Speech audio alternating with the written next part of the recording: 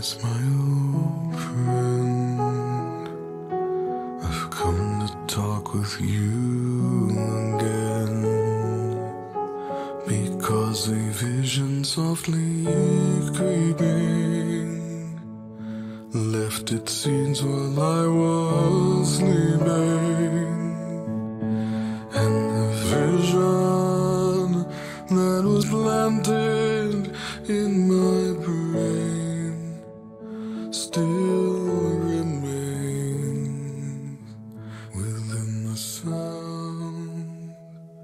of silence. In restless dreams, I walked alone. Narrow streets of cobblestone. Neath the halo of a street lamp, I turned my collar to the cold and damp.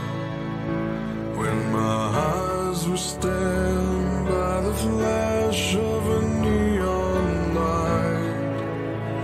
split the night and touch the sound of silence. And in the naked light, I saw ten thousand people,